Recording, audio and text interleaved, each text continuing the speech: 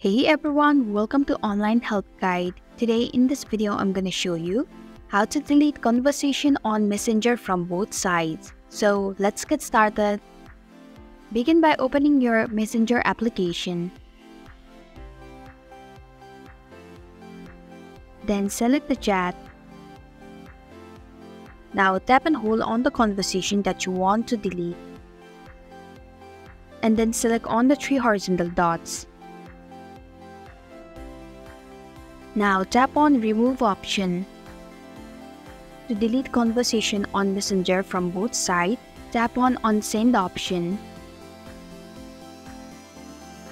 And this is how you can delete conversation on Messenger from both sides.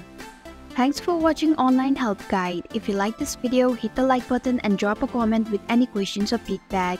If you are new, subscribe and click the bell icon to stay updated on our future videos.